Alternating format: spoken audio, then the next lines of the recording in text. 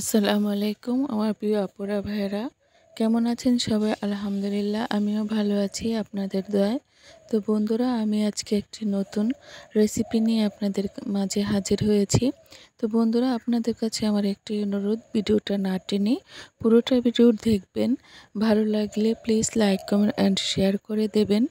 আর আমার চ্যানেলটি সাবস্ক্রাইব করে আমার পাশে থাকবেন পাশের বেল বেলাইকনটি ক্লিক করে দেবেন। যারা অলরেডি করেছেন আমার পুরাতন বন্ধুদের অসংখ্য অসংখ্য ধন্যবাদ। আর যারা আমার নতুন ভিডিওটা দেখছেন বা চ্যানেলে আসছেন, তাদেরকে আমার অনুরোধ চ্যানেলটি সাবস্ক্রাইব করে পাশে থাকার জন্য। তো আমি এখান থেকে ভিডিওটা শুরু করেছি। তো এখানে আমি নিয়েছি নলা মাছ। নলা মাছটি কেটে আমি ধুয়ে পরিষ্কার করে নিয়েছি ভালো করে। তো এখন আমি এর মধ্যে নুন, হলুদ দিয়ে মাখিয়ে নেব বাজার জন্য।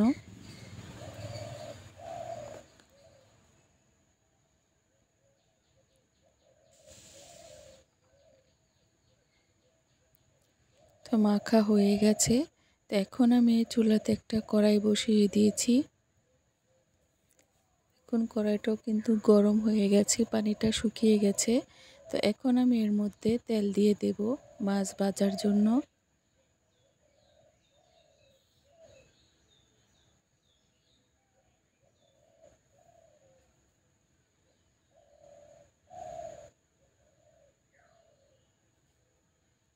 তো তেলটা গরম হয়ে গেছে। এখন আমি মাছগুলো এক এক করে দিয়ে বেজে নেব ভালো করে।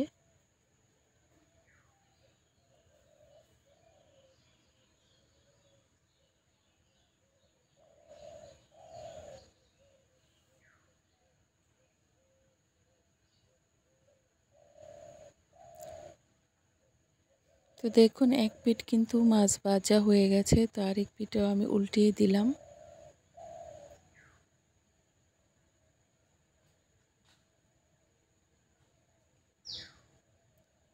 এরকম লাল লাল করে আমি মাছগুলো বেজে নেব।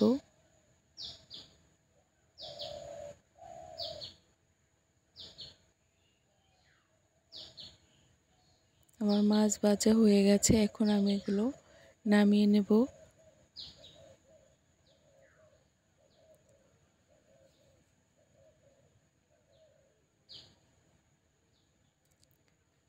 তো সবগুলো মাছ আমি বেজে নামিয়ে নিলাম।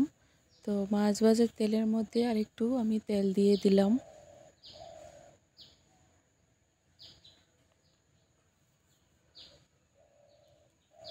এখন আমি এর মধ্যে দিয়ে দিলাম পেঁয়াজ কুচি। আমি এখানে একটা পেঁয়াজ কুচি নিয়েছি। তো পেঁয়াজটা আমি লাল লাল করে ভেজে নেব।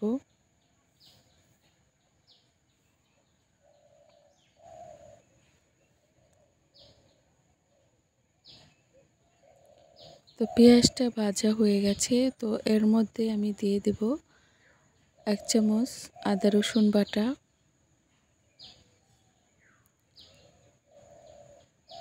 আদা রসুনটা আমি ভালো করে বেজে নেব যেন আদা রসুনের কাঁচা গন্ধটা না আসে।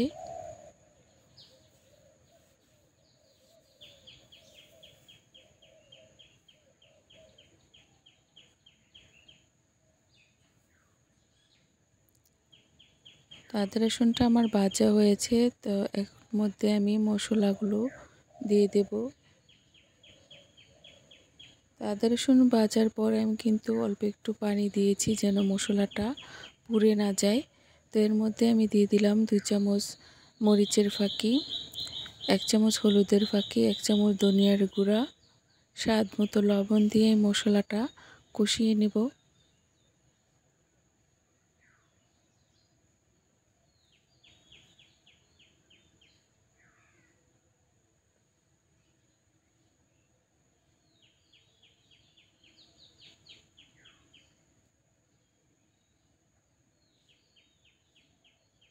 দেখুন, মশলাটা কিন্তু কষানো হয়ে গেছে। কত সুন্দর একটা কালার আসছে। তো এখন আমি এখানে দিয়ে দেব কচুরমুখী। তো কচুরমুখীগুলো আমি লবণ দিয়ে দুই থেকে তিন মিনিটের মতো মেখে রেখেছিলাম। তো কসলি আমি ধুয়ে নিয়েছি। তো কতটা পরিষ্কার হয়েছে দেখুন। তো আপনারও লবণ দিয়ে এটা দুই তিন মিনিট মেখে রেস্টে রেখে দিবেন। তাহলে দেখবেন কচুরমুখিটা কিন্তু যে ময়লাটা থাকে, সে ময়লাটা বের হয়ে যায় আর যে বিজলে বিজলে একটা ভাব থাকে, সেটাও চলে যায়।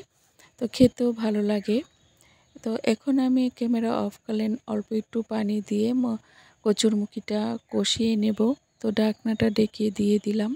তো দুই থেকে তিন মিনিট পর আমি ফিরে আসলাম। তো দেখুন, কষানো কিন্তু হয়ে গেছে। একেবারে পানিটাও শুকিয়ে গেছে।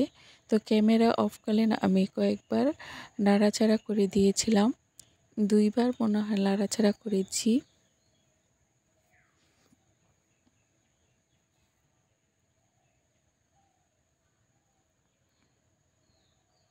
তো এই দেখুন কতটা সিদ্ধ হয়ে গেছে। একেবারে নরম হয়ে গেছে।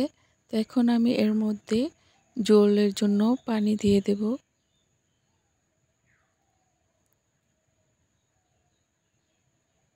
জলের জন্য পানি দিয়ে দিলাম আমার পরিমাণ মতো। তো আপনারা আপনার পরিমাণ মতো পানি দিয়ে দিবেন। তো এটা আমি নলা মাছ দিয়ে কচুরমুখী জোল রান্না করছি। তো ঝোলটা আমার দিয়ে একটা ঢাকনা দিয়ে ডেকে দেব বলকটা আসা পর্যন্ত। তো বন্ধুরা, আমার রেসিপিটা যদি একটু ভালো লেগে থাকে, তো প্লিজ একটা লাইক করে দেবেন। আপনাদের লাইক এমন কমেন্টস আমাকে ভিডিও করা উৎসাহ দেয়। আপনারা যখন মজার মজার কমেন্ট বা ভালো ভালো কমেন্ট লেখেন, আমার পড়তে অনেকই ভালো লাগে। আপনাদের কমেন্ট দেখতে আমার খুব ভালো লাগে, পড়তে ভালো লাগে। ভিডিও করতেও কিন্তু উৎসাহ হয়। তো আপনার একটা লাইক আমার ভিডিওটা আর দশজনের কাছে পৌঁছিয়ে দিতে সাহায্য করবে। তো এখন দেখুন, বলকটা কিন্তু এসে পড়েছে। এখন আমি মাছগুলো এর মধ্যে দিয়ে দিলাম। তো সবগুলো মাছ আমি এক করে দিয়ে দিলাম। দিয়ে কয়েক মিনিট এটা আমি জাল করে নেব। তো দিয়ে দিলাম কয়েকটা কাঁচামরিচ।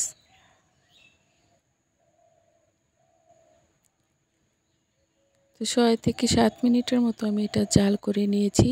তো এখন আমি এটা নামিয়ে নেব। তো ঝোলটাও কিন্তু গাঢ় গাঢ় হয়ে এসেছে। তো খেতেও কিন্তু অসাধারণ হয়েছিল। তো আপনারা বাড়িতে ট্রাই করে দেখবেন এভাবে যদি ভালো লাগে, প্লিজ কমেন্ট করে জানাবেন। তো দেখুন, নামিয়ে নিয়েছি কতটা লোভনীয় হয়েছে। তো বন্ধুরা, আমার জন্য দোয়া করবেন। আমি যেন আপনাদের মাঝে ভালো ভালো রেসিপি নিয়ে হাজির হতে পারি। আর আপনারাও ভালো থাকবেন, সুস্থ থাকবেন সবাই। আর আমার রেসিপিটা কেমন লাগল প্লিজ কমেন্ট করে জানাবেন। সাবস্ক্রাইব করে আমার পাশে থাকবেন। আল্লাহ হাফেজ।